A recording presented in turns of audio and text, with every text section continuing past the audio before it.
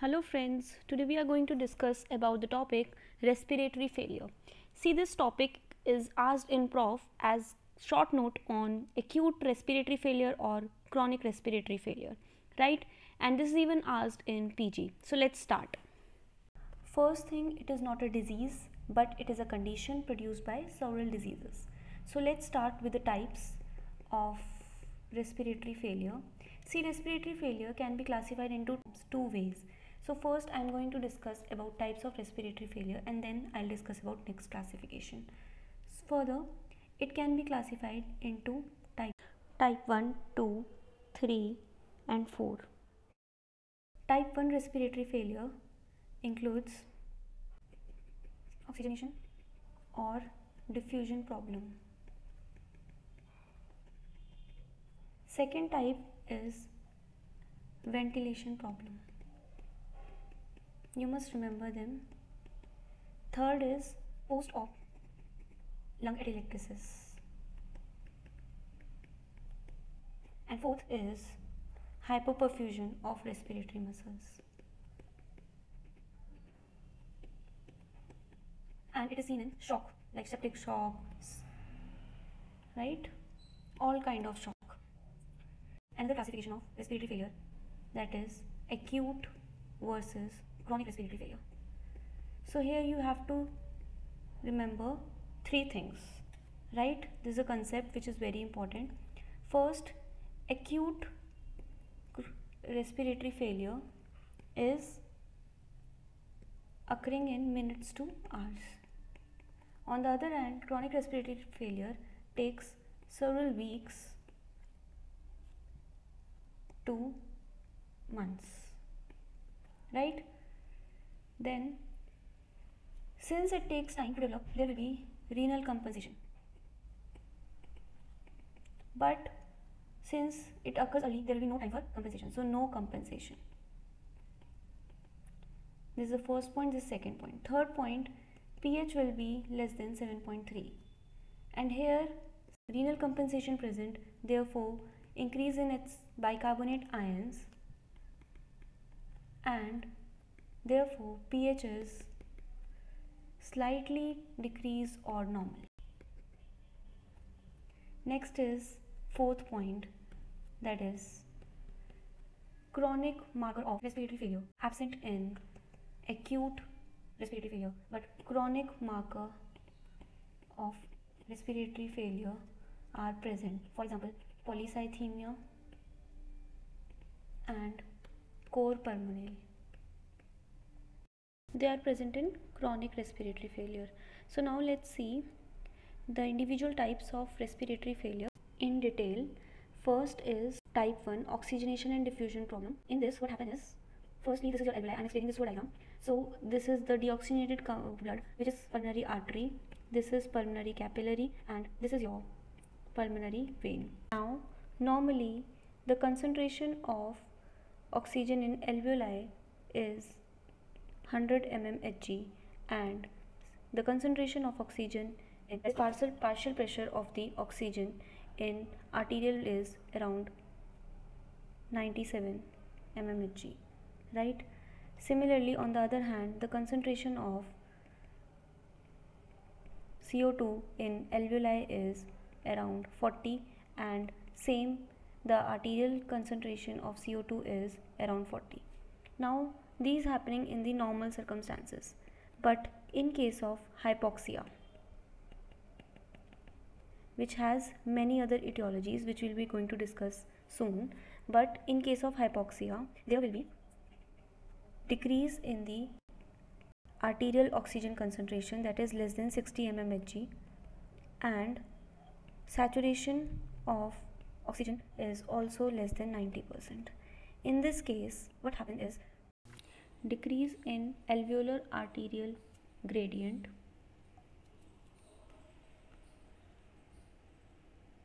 And decrease in arterial concentration of CO2 it will be decrease or normal. So this will lead to hypoxemia and hypocapnia students. Now here students what i am going to explain you is why this is basically this potential of co2 is 50 to 100 times greater than oxygen. The co2 will be passing to the alveoli but there will be no oxygen transfer from alveoli to arterial artery right? So what are the causes of hypoxia? So let's discuss this part. So this is basically causes of type 1 respiratory failure. So in nutshell i can say that causes are due to the alveolar flooding. That is basically accumulation of something inside alveoli or due to shunt. So we are explaining this with examples. First is if there is fibrosis in lung for example ild if there is accumulation of fluid in the air spaces, this leads to pulmonary edema. Third, if there is accumulation of pus or exudates, which leads to pneumonia. If there is accumulation of blood inside air spaces, we can have alveolar hemorrhage. And in chronic cases, COPD, emphysema, in which there is hyperinflation of the distal air spaces which will causes decrease in the surface area with increase in the volume which will lead to again mismatch of VQ. Then sixth is acute severe asthma very important. Acute severe asthma only causes type 1 respiratory failure right? Now seventh cause is alveolar collapse. This will occur when there is shunting right? And next pulmonary embolism this pulmonary embolism is an example of VQ heterogeneity. So students let's talk about a bit of, of VQ ratio. It can be broadly divided into dead space ventilation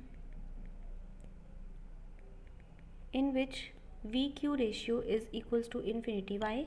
Because there is no perfusion only alveoli dead space is present which is getting wasted. So since perfusion is zero therefore the net result is infinity right and the example of this is complete pulmonary embolism why because complete occlusion of blood vessel is there which leads to the cutting off of blood supply right second we will have vq heterogeneity which we'll be discussing उससे पहले where v ratio is equals to 0 why 0 because the alveoli are collapsed or there is something that is called as decrease in diffusion because of presence of fluid or pus which led to shunting of the blood. Therefore deoxygenated blood without getting oxygenated directly pass to the blood supply. Right? Now VQ heterogeneity is very important. It includes both dead space ventilation and shunting.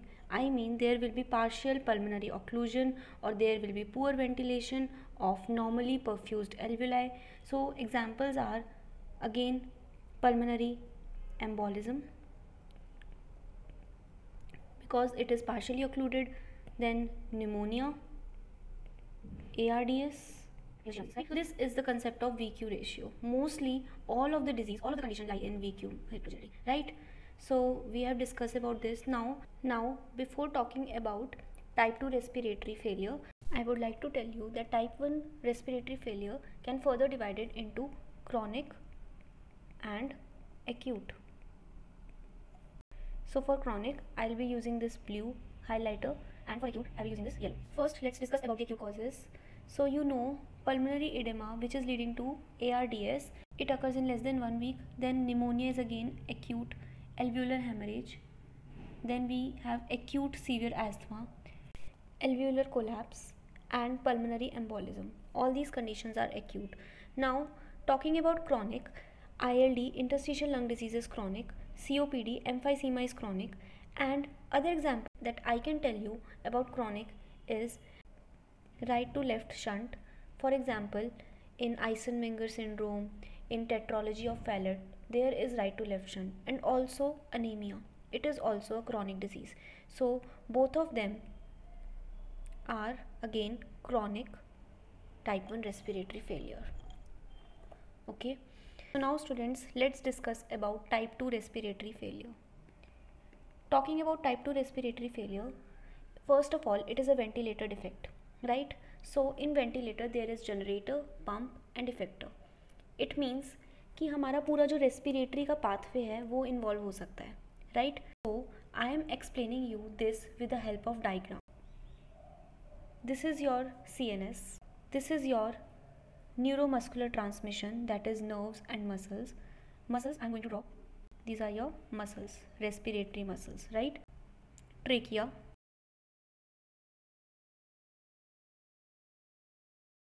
these are your lungs.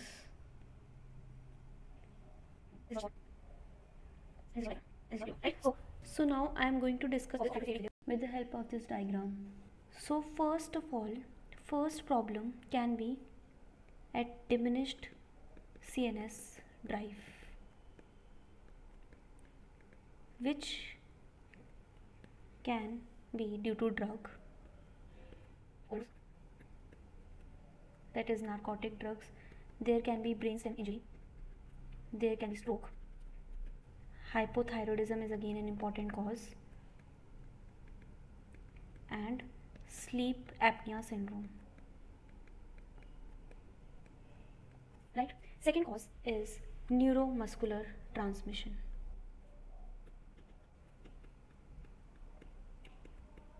Which comprises of GBS, Guillain-Barré syndrome, amyotrophic lateral sclerosis phrenic nerve injury spinal cord lesions myasthenia gravis next there will be muscle weakness number third muscle weakness causes of muscle weakness can be myasthenia gravis muscular dystrophy electrolyte imbalance respiratory muscle fatigue, motor neuron disease, right? Now, there can be pleural disease. Example of pleural disease are pneumothorax, pleural effusion, parenchymal lung disease are also here. Then there can be chest wall disease, which can be due to kyphoscoliosis, ankylosing spondylitis, flail chest and severe obesity. Right? Then this is your fifth one. The next cause can be due to something present in airway. So it can be due to airway obstruction. So example is COPD. Then foreign body or vocal cord palsy right? So these are the causes of type 3 respiratory failure. Now again we have to learn why this is happening and what is happening in type 2 respiratory failure. Type 2 respiratory failure is due to alveolar hypoventilation right here there is inability to eliminate CO2 efficiently by lungs therefore of arterial C O two increases ठीक है type one में हमारा सी O to बहुत आराम से exchange हो रहा था लेकिन टाइप टू में हमारा सी ओ टू एक्सचेंज नहीं हो पा रहा so there will be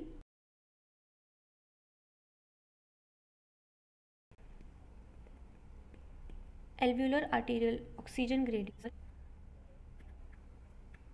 PaO2 again hypoxic हो गई patient so hypoxia and PCO there will be hypercapnia Again, similarly, I would like to differentiate them in chronic and acute cases. So first, let's classify all acute cases. So drug overdose, stroke, they are acute causes of diminished CNS drive.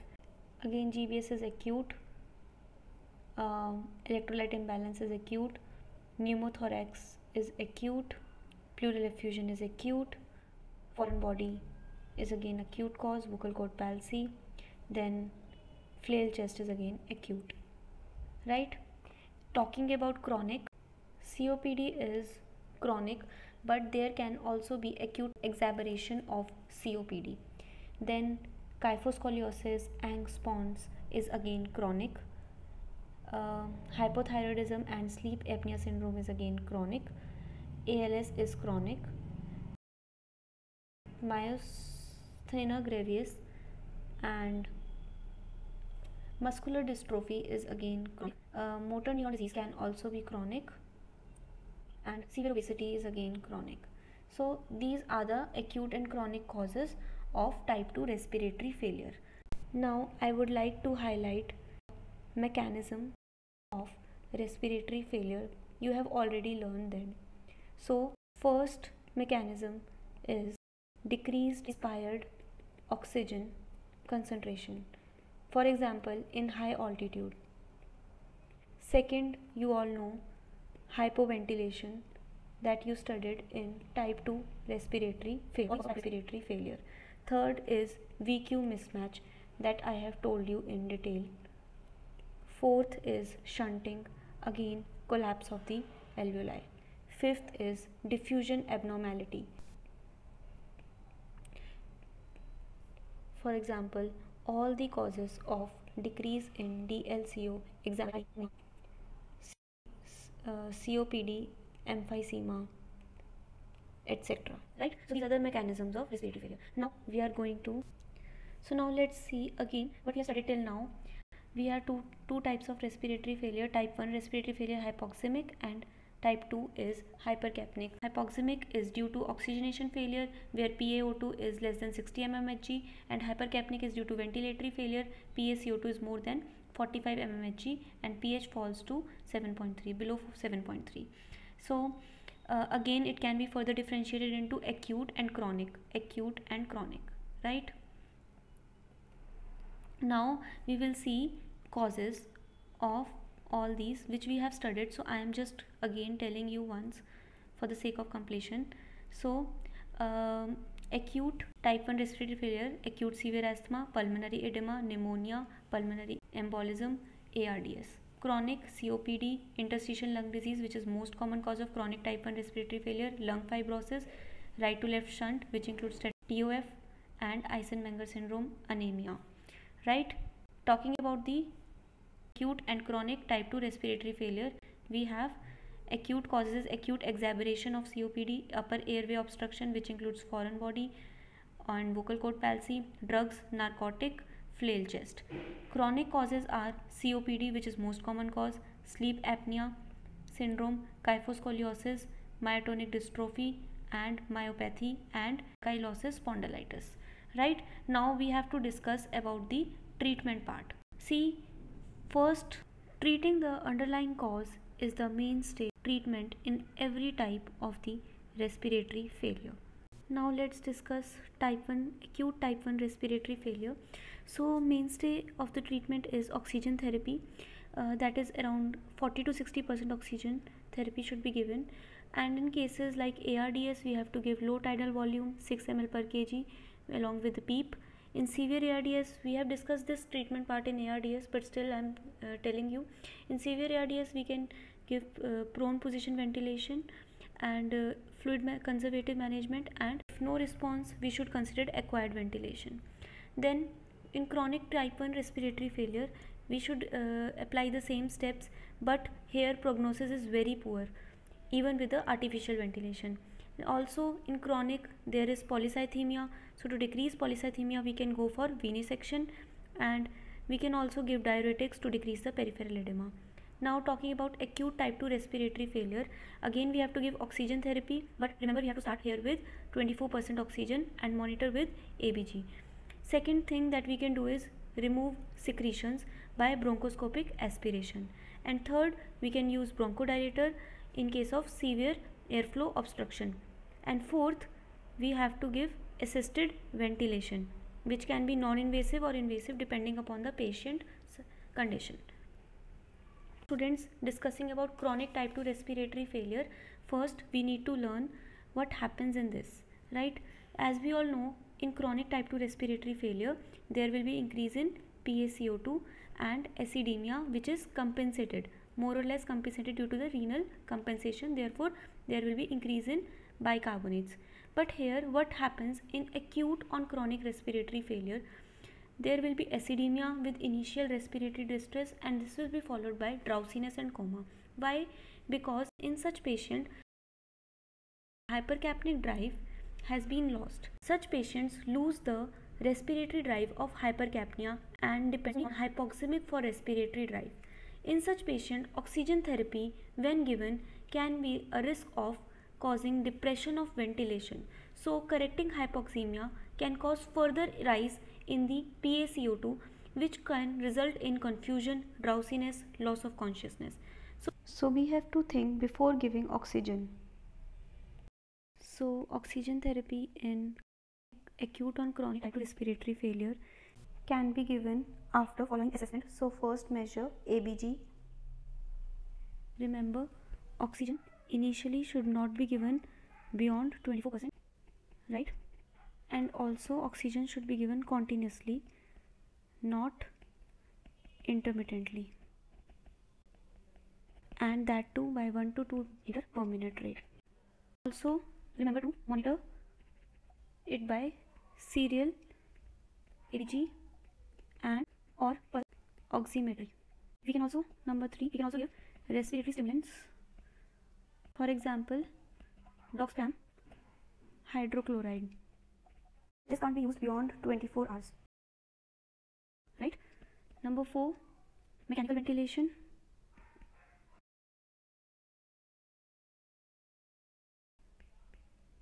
It can be reserved for only. And last, is must for example antibiotics for infections nebulized bronchodilator for airflow obstruction severe airflow obstruction. We have to clear secretions also and that can be done by cuffing suction chest physiotherapy.